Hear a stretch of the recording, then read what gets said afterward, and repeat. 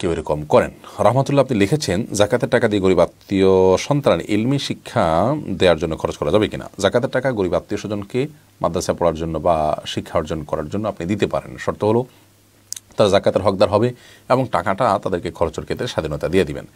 আপনি হয়তো তাদের শিক্ষার খাতে খরচ করার ইচ্ছা নাই, তাদের অন্য কোনো খাতে সে মানে খরচ করার প্রয়োজন আছে। আপনি বাধ্য করে তাদেরকে এই খাতে খরচ করে দিলেন, অর্থাৎ মাদ্রাসা ডাইরেক্ট পেমেন্ট করে দিলেন, তারা জানলেও না হয়তো, এতে কিন্তু জাকাত আদায় হবে না। আপনি তাদের কাছে তাদের টাকাটা দিয়ে দিবেন, অথবা তারা যদি বলে যে আমাদের এই নিডটা ফিল আপ করা দরকার, তাহলে সেক্ষেত্রে তাদের অনুমতি সাপেক্ষে আপনি তাদের সন্তানের জন্য শিক্ষা খাতে টাকাটা ব্যয় করে দিতে পারবেন। এরপর স্বর্ণামণি